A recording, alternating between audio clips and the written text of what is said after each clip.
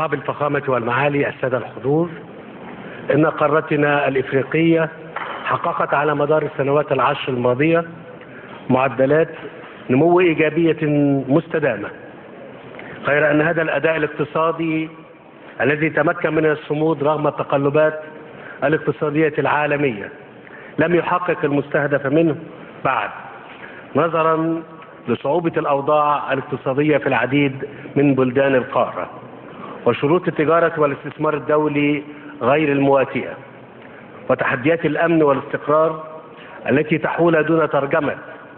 هذا النمو لتحسن ملموس في حياة الأفراد فضلا عن تزايد مخاطر النزاعات المسلحة والأنشطة الإرهابية والإجرامية العابرة للحدود واستمرار التدخلات الخارجية التي تؤثر على استقرار المجتمعات والدول.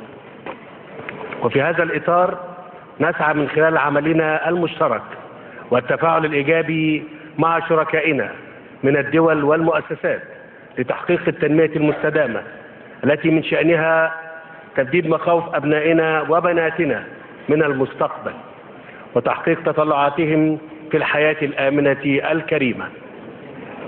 السيدات والسادة إن من أهم التحديات التي تواجه شعوبنا هي التغلب على دعاوى الانغلاق والحمائية ولعلكم تتفقون معي بأن موضوعات التحول الرقمي وتكنولوجيا المعلومات تمثل البوابة الذهبية لتحقيق هذا الهدف كما أنها من أهم محفزات النمو الاقتصادي.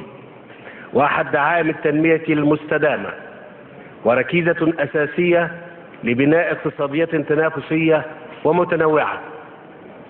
وإقامة مجتمعات حديثة داعمة للمعرفة والابتكار وجاذبة للاستثمارات.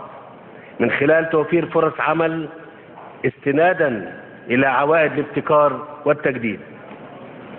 إن قارتنا الإفريقية مؤهلة أكثر من غيرها للتعامل مع الأدوات المستحدثة في القرن الحادي والعشرين خاصة وأن 60% من سكان إفريقيا البالغ تعدادهم واحد واثنين من عشرة مليار نسمة هم دون سن الخمسة وعشرين عاما.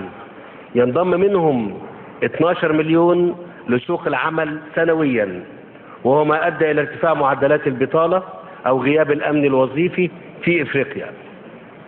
وإيمانا من مصر بأهمية التحول الرقمي فقد قضت على هذا الطريق بشكل ملموس وعمدت إلى وضع خطة شاملة لنشر الوعي المجتمعي بأهمية التحول الرقمي وتحقيق طفرات على صعيد البنية التحتية الرقمية وتوطين التكنولوجيا في مختلف المحافظات المصرية.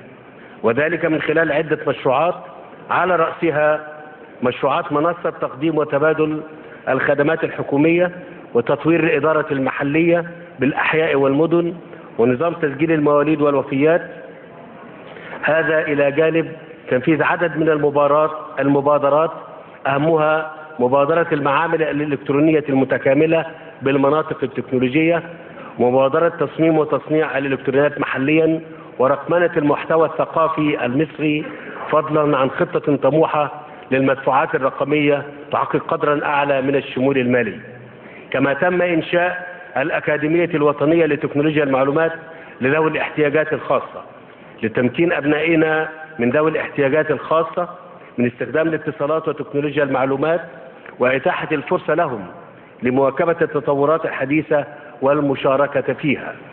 السيدات والسادة إننا في مصر نعتز كثيرا بانتمائنا الإفريقي الذي دون الارتكاز عليه لن تؤتي جهودنا العائد الأمثل على الصعيدين المحلي والقاري وعليه فقد سعت مصر ونجحت في استضافة معمل الأمم المتحدة الإفريقي لرعاية الإبداع التكنولوجي والذي تم تجهيزه بأحدث الوسائل العلمية والتكنولوجية لتعزيز قدرات الباحثين والعاملين بالمجالات التكنولوجية من مختلف أنحاء القارة الإفريقية على صياغة حلول تكنولوجية مبتكرة تساهم في مواجهة التحديات العالمية وتنفيذ أهداف الأمم المتحدة التنموية 2030 والأجندة الإفريقية للتنمية 2063 كما قمنا بإطلاق مبادرة إفريقيا لإبداع الألعاب والتطبيقات الرقمية بهدف تدريب عشرة ألاف شاب مصري وإفريقي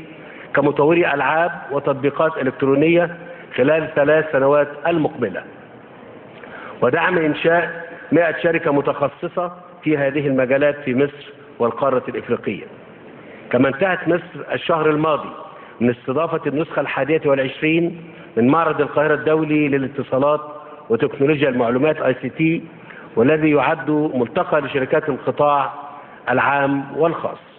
لعرض أبرز ما توصلت إليه على صعيد الاتصالات وتكنولوجيا المعلومات. السيدات والسادة تأتي موضوعات التكنولوجيا